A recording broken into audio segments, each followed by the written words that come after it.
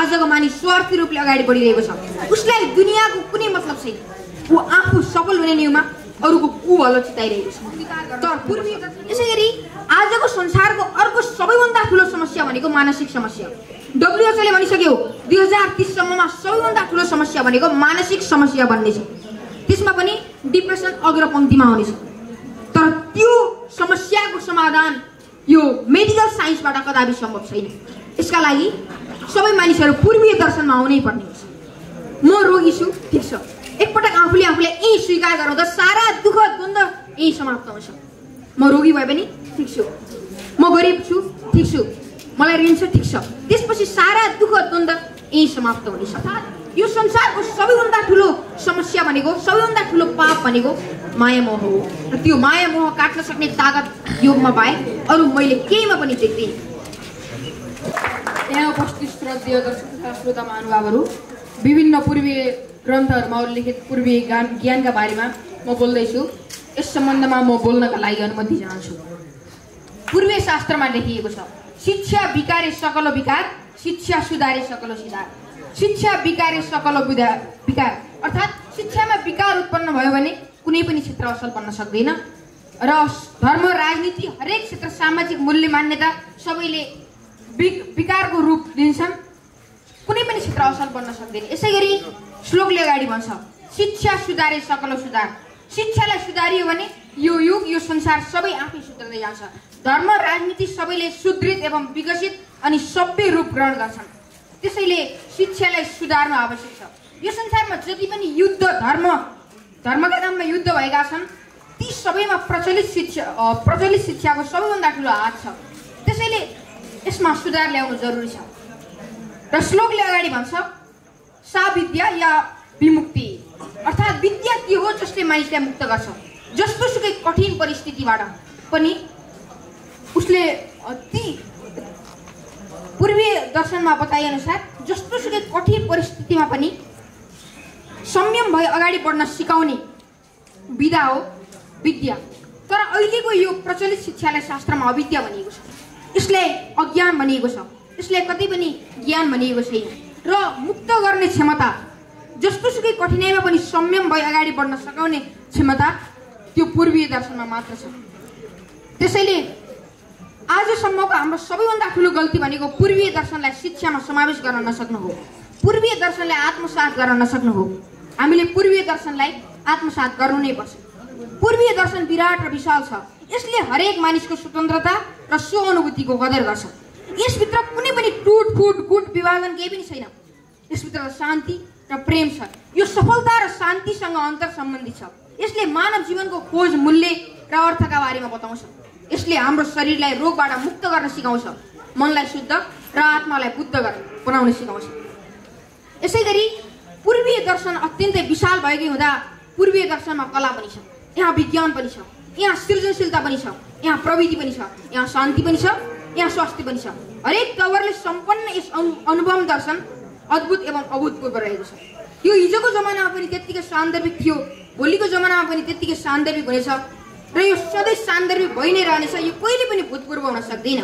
यसलाई हामीले पछ्याउने कोसिस गर्नुपर्छ। पूर्वीय दर्शनको सबै ज्ञानलाई यहाँ समेट्न असम्भव भएकै कारण केही ज्ञानलाई समेट्ने प्रयत्न गरौँ। पूर्वीय शास्त्रमा बताइएको छ। सर्वे भवन्तु सुखिन सर्वे सन्तु निरामय सर्वे भद्राणी पश्यन्तु म कश्चित दुःख भवेत। यो श्लोकलाई आत्मसात गर्न सक्यो भने यो संसारमा कुनै पनि दुःख द्वन्द्व हिंसा केही पनि रहँदैन। यो संसारमा जति पनि युद्ध छन् ती सबै प्रेममा प्रकट हुन्छन्। यो संसारमा जति पनि अज्ञान छ त्यो सबै ज्ञानमा प्रकट हुन्छ आजको मानिस स्वार्थी रूपले अगाडि बढिरहेको छ। उसलाई दुनियाँको कुनै मतलब छैन। ऊ आफू सफल हुने न्युमा अरूको कु भलो चिताइरहेको छ। तर पूर्वीय दर्शनले यस्तो कुरा कहिले पनि बताएन। पूर्वी दर्शनले नेपाल मात्र होइन विश्वका सबै मानिस खुसी रहन् भन्छ। पूर्वीय दर्शनमा बताएअनुसार यो संसारका सबै मानिस खुसी रहन् यो संसारका कसै मानिसलाई पनि दुःख पीर नपरोस् भनिएको छ। त्यसैले यस भावनालाई हामीले अङ्गीकार गर्न सक्नुपर्छ। यसै गरी आजको संसारको अर्को सबैभन्दा ठुलो समस्या भनेको मानसिक समस्या डब्लुएचओले भनिसक्यो दुई हजार तिससम्ममा सबैभन्दा ठुलो समस्या भनेको मानसिक समस्या बन्नेछ त्यसमा पनि डिप्रेसन अग्रपङ्क्तिमा हुनेछ तर त्यो समस्याको समाधान यो मेडिकल साइन्सबाट कदापि सम्भव छैन।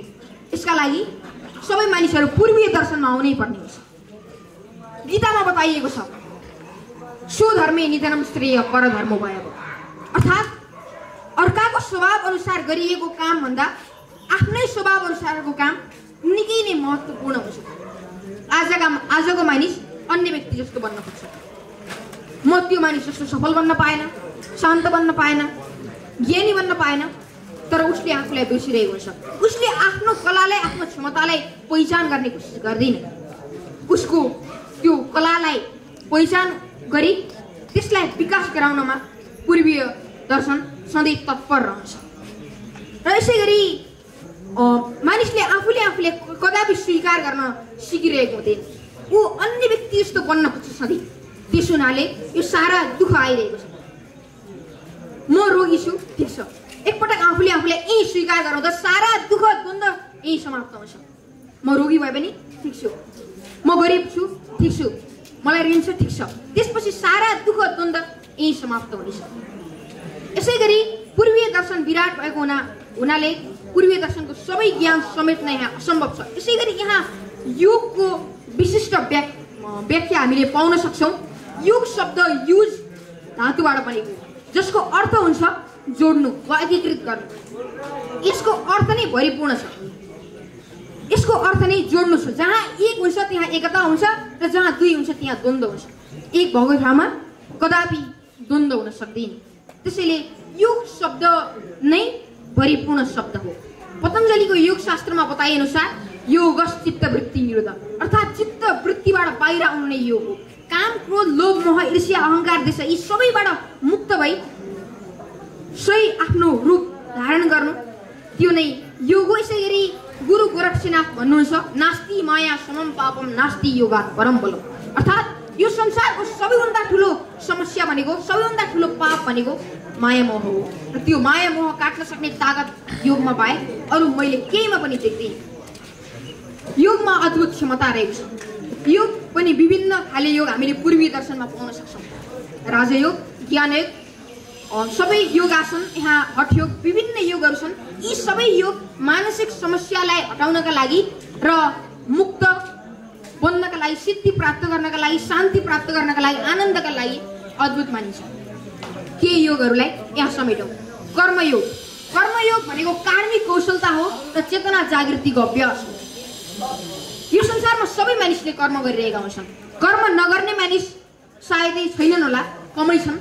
तर त्यो कर्म बेहोसपूर्ण कर्म भइरहेको छ। कर्मप्रति होस र जागृति आउन सकेको छैन।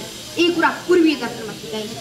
जब कर्मप्रति होस र जागृति आउँदैन त्यो कर्म सांसारिक बन्छ र त्यो सांसारिक कर्मले सधैँ दुःख निम्ति आउँछ क्रोध निम्ति आउँछ र त्यो सांसारिक कर्मबाट मुक्त भई पवित्र कर्ममा प्रवेश गर्नका लागि हामीले हामीलाई कर्मप्रति होस र जागृति आउनु जरुरी छ। र यसै गरी मूलाधार चक्र र मनशक्तिको साक्षीपूर्ण अभ्यास हो कर्मयोग। यहाँ प्रश्न उठ्ला कर्म कसरी योग बन्छ यसको उत्तर हो काम गरिरहेको र काम गर्नेवाला यी जुन दुई स्थिति छ जब यो एक वर्ष त्यहाँ योगको निर्माण हुन्छ।